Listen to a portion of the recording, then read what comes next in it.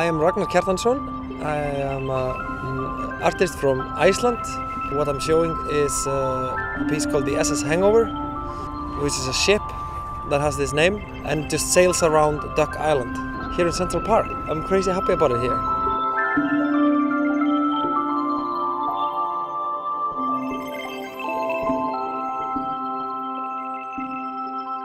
We worked a lot with both the musicians and the captains that, it, that the piece has this pace, this slow pace.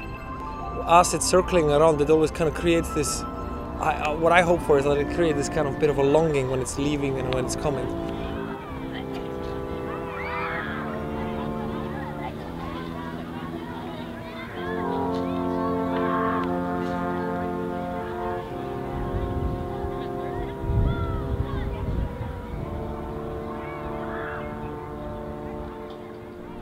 I, I look at this piece as a, as a kinetic sculpture.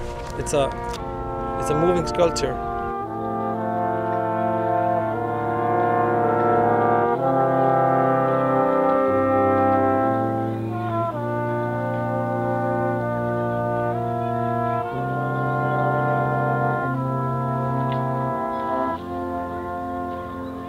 It's basically like looking at the painting, like kind of looking at this kind of impressionistic painting with the boat reflecting in the water, and it's just.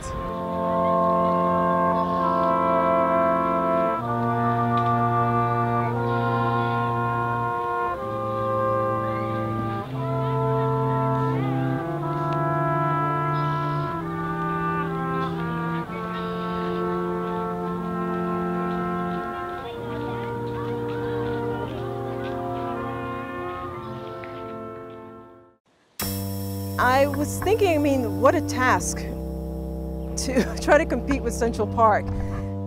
I kept thinking like, what's, what's something I can do? So I started thinking about how do I deal with just the landscape, what's here? And that led to me thinking about this site and what was here in the recent past, what was here in the long past, what was here like deep, deep, far away past.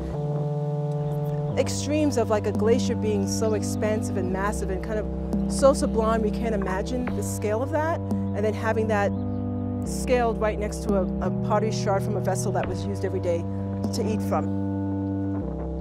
And kind of equating those two. And also giving a, a person walking through the park kind of like the power to kind of control time.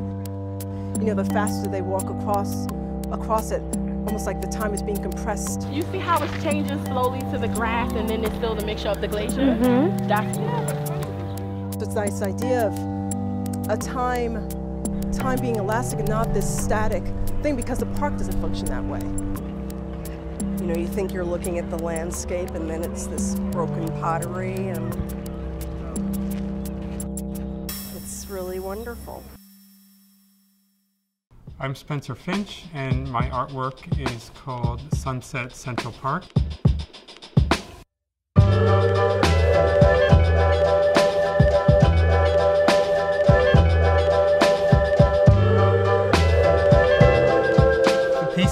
Solar powered ice cream truck and it makes ice cream the color of the sunset. So I made watercolors of the sunset over Central Park uh, from the roof of the Metropolitan Museum and then selected five colors from that watercolor to match in the form of soft serve ice cream.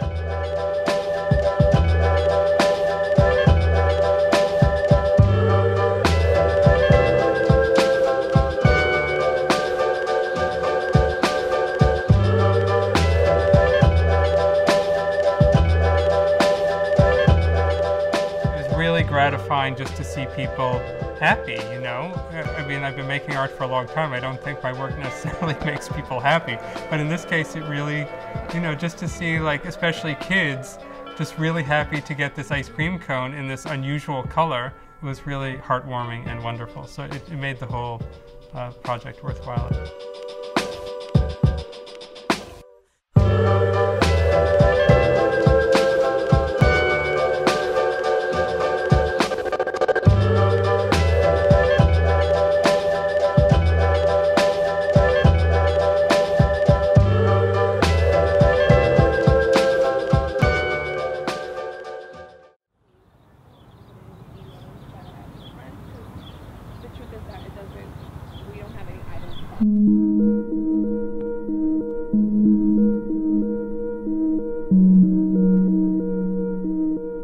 Cartas al Cielo is a post box to send letters to the sky and heaven. Cielo means two things, means sky, but at the same time heaven.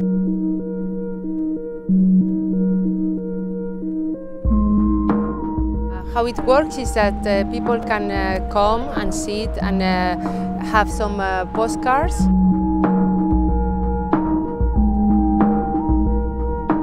When people write uh, the letters, they can uh, throw the letters in this post box. The post box is a very big sphere in stainless steel these letters are for people that they are not here anymore with us, people with no address. Uh, these letters that sometimes we were ashamed or we are ashamed to, to send, but anyway, we, we write.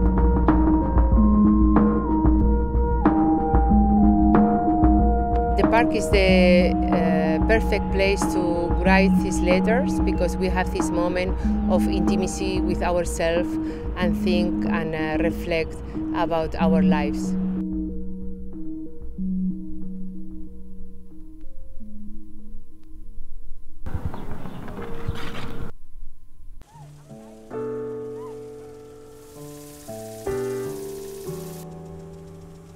You live in New York City, if you've lived a long time in New York City, you, you think a lot about movies and time. And you think about time and history and change kind of through movies. You really had me fooled, Freddie, thinking that you could change. I need you to believe in me. Is that so hard to understand? Oh, you want me to believe? Because the city has been shot so, so, so, so, so much. And it's something that winds up preoccupying me a lot. To summarize the project in a nutshell, it's live reenactments of scenes that were shot on location in Central Park. I'm not sure I Be silent. That. Be silent. On loops happening all day long so that you can just discover them. I'm not sure I Be silent. That. Be silent. Or look for them. You might recognize the scene and be like, what is that doing here? You gave my $200 watch to a man in a black cape. Why? Do I look like a fool to you, Freddie? One really important thing was that it had to be stuff that was really about private moments that were public by virtue of being film or by virtue of being fictional, or, and see what happens when you put those back in.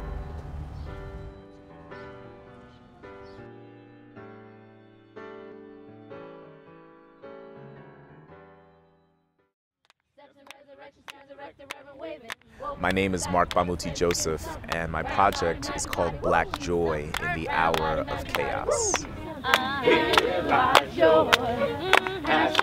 It's a song cycle, a series of spoken word, contemporary movement, artifact, and song that serves as an elegy for Too Soon Gone and also a prayer for those yet to come. It's a celebration of the joy in black life, not framed by rage or grief, but by possibility. Unskinned pinned to the pulse, a post race, cross twice, hope to die, hope when I do, there is joy on my face.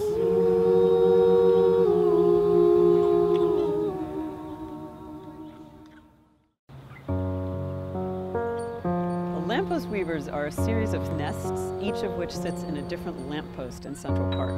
And the idea for this came from my thoughts about the way that human lives mingle with the lives of creatures in the park. One of the things about Central Park is it's sort of like a giant sports field. And I thought, maybe I'll invent a bird species that picks over all the sports activities in the park and uses materials like that in their nests to build their nests out of. I wanted to combine those materials with these organic materials to talk about that fusion of uh, bird life with human leisure activity. One, know, the tennis courts, is a long, bushy kind of arm on the lamppost arm that is filled with tennis balls that I imagine the birds have collected. The stray balls come over the wall of the court. You know, you may be out in the park for a jog and you're not really proceeding with the same kind of headspace you would have if you were walking into a gallery, for instance. I think it makes you wake up. I think it makes you alert to the world in a different way. And I think you move on from an encounter like that with sort of a different sense of what's out there. It's really fluid and it's very patient early on.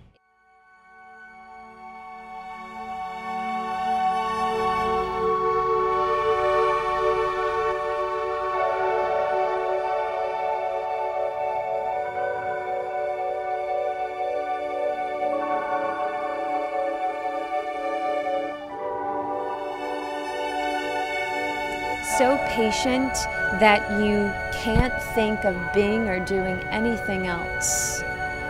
And then you realize that you're not sure if anything is happening, and that is okay.